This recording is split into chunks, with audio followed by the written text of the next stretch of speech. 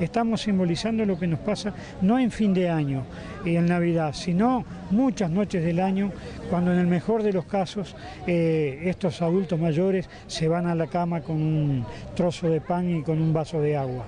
Entonces este, nosotros sobre esta fecha, eh, tomando prestada una medida de lucha de la Mesa Coordinadora de Jubilados y Pensionados de la CTA de la República Argentina, este, realizamos este brindis del pan y del agua. No contamos con aguinaldo, pero les voy a dar una buena noticia ahora a los compañeros jubilados y pensionistas.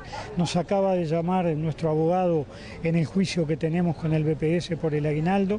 Eh, la jueza, la señora jueza eh, civil de tercer turno, la señora, la, doctora Beiso, este, eh, acaba de recibir respuesta de la caja militar eh, que le informa que sí paga aguinaldo.